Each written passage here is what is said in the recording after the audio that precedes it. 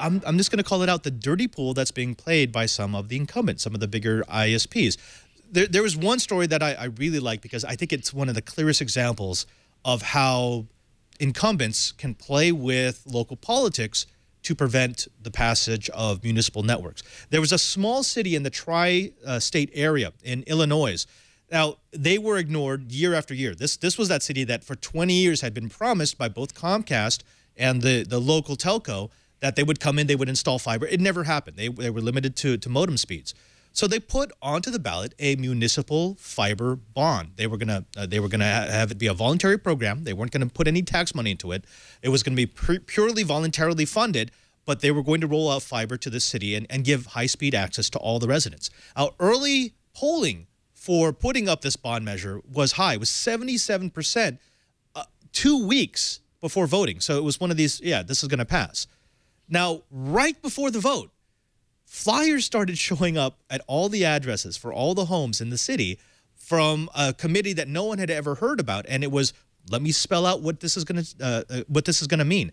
And it spouted facts like every municipality that has ever tried to roll out fiber has failed and cost the taxpayers millions. The flyers claim that the broadband initiative would cost millions every year just to keep up the network. And it was using facts from the telecom telecommunications industry to show you exactly how expensive it was to run your own ISP. And along with the flyers, suddenly a bunch of, of paid newspaper stories started appearing that showed that the citizens of the Tri-County area firmly oppose this bill. As a result, in two weeks, it went from 77% favorable to 80% unfavorable, and the motion passed. Uh, motion failed. Now, they were never able to connect that that advertising and those stories back to Comcast, but most people are assuming it was Comcast. How often do you hear stories like that? It's fairly frequent, frankly. Um, you know, there's there's uh, those stories when it comes to public votes. Um, there was a, a, push poll that was commissioned in uh, Lafayette by the Cox, um, well, the, the cable industry, which was led by Cox, um, in which they asked questions like, um, since the water restricts you to limiting, uh, restricts you to watering your lawn on certain days of the week, are you worried that you would not be able to watch television or use the internet on certain days of the week? Um, which is kind of a comical question. But they also ask questions designed um, to inflame racial tensions between um, uh, the areas of the city that um, were um, uh, more of the African American concentration and lower income, which was really disconcerting. That's might be the dirtiest, uh, most horrible thing I've seen, just in terms of cynicism. Um, we've seen in in Longmont, uh, Colorado, which now has one of the lowest price gigs in America uh, because the city did do it, but uh, Comcast spent over a half million dollars dollars over two referendums to convince people to vote no. And it's an interesting dynamic where in the first referendum, people were swayed by the Comcast uh, propaganda. But then afterward, they started asking questions like, wait a minute, what, what, what really happened there? You know, why were we listening to Comcast's argument? And so two years later, they had the referendum again, and it was a landslide in favor because the community was prepared for it. So it's not always the case that those dirty tactics are effective, um, but the industry will use every opportunity and every tool at its rather large disposal to try and stop competition. That's true of local governments getting involved. Uh, we see very similar tactics with private companies that try to come up and compete with Comcast or Charter. Um, price discrimination that the federal government and the state's attorneys general do not um, sort of crack down on and investigate because it's so hard to prove. Uh, so, I mean, there's there's a real intimidation of elected officials. And we see that when a network does not fail, or I'm sorry, when a network does not succeed.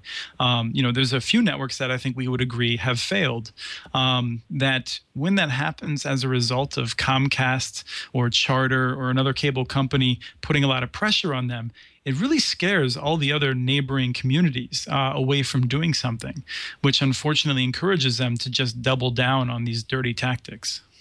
Uh, it's interesting that you say that uh, the second time that referendum went around, they were prepared for it. And I think maybe that's the reality we live in. If, if, we, want, if we want to pass these, these legislative solutions to poor broadband, you actually have to think about preparing the community for what they're eventually going to get. Uh, I'm thinking of two questionnaire questions that people actually sent to me. They sent me clips from questionnaires that they received while their cities were, were trying to pass municipal fiber uh, um, bills.